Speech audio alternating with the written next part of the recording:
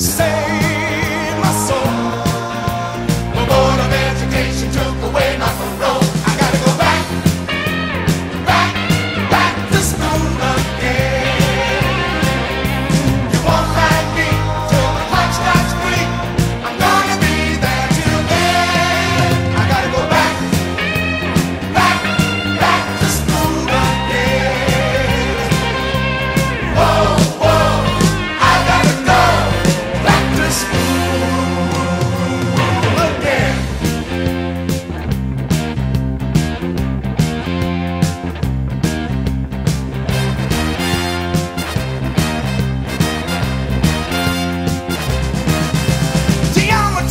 history is just a pain.